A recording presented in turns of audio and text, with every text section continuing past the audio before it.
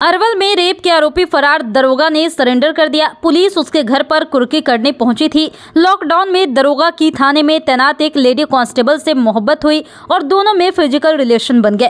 Constable ने शादी के लिए कहा तो दरोगा मुकर गया। इस पर लेडी कांस्टेबल ने उस पर रेप के एफआईआर दर्ज करा दिए। तब से दरोगा फरार था। आरोपी दरोगा अमरनाथ कोरोना काल में अपने गाँव अनवा आया था। इसी दौरान लॉकडाउन लग गया। इससे उसकी पोस्टिंग कुर्था थाने में कर दी गई पोस्टिंग होते ही दरोगा ने लेडी कांस्टेबल से इश्क कर लिया और इसके बाद शादी का झांसा देकर अलग अलग जगहों पर उसके साथ यौन शोषण किया। लेडी कांस्टेबल ने शादी का दबाव बनाना शुरू किया तो दरोगा ने इनकार कर दिया। पीड़ित लेडी कांस्टेबल ने मई 2022 में अरवल महिला थाने में यौन शोषण की प्राथमिकी दर्ज कराई। इसके बाद से दरोगा फरार था। एसपी मोहम्मद कासिम ने बताया कि गिरफ्तारी को लेकर कई जगहों पर छापेमारी की गई, लेकिन आरोपी दरोगा गिरफ्त में नहीं आया। फिर न्यायालय से वारंट और कुर्की जब्ती की अनुमति ली गई। महिला थाने की पुलिस कुर्की करने के आरोपी दरोगा के घर पहुँच गई। इसी दौरान आरोपी दरोगा ने महिला थाने में सरेंडर कर दिया। पुलिस ने आरोपी दरोगा अमरनाथ को गिरफ़्तार कर न्यायिक हिरासत में जेल भेज दिया है। एसपी ने बताया कि आरोपी 2019 बैच के दरोगा है,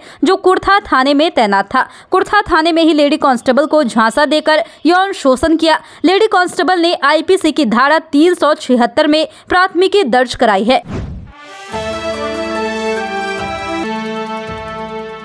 जुड़ो दीक्षांत से करो फ्री खुद को स्ट्रेस से। गूगल प्ले स्टोर से दीक्षांत ऐप डाउनलोड कर अपने स्टडी को बनाओ आसान और मज़ेदार। दीक्षांत देता है topic wise video with animated visuals and concept by the study materials